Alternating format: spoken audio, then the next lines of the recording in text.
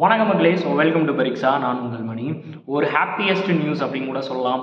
இன்னொன்று என்ன அப்படின்னு பார்த்தீங்கன்னா ஒரு முக்கியமான நியூஸ் என்ன சார் அப்படின்னு பார்த்தீங்கன்னா டிஎன்பிசி குரூப் த்ரீ நிறைய பேர் அப்ளை பண்ணியிருக்கீங்க. ஸோ அதுக்கான ஹால் டிக்கெட் இன்னைக்கு வந்து அவுட் ஆயிருக்கு.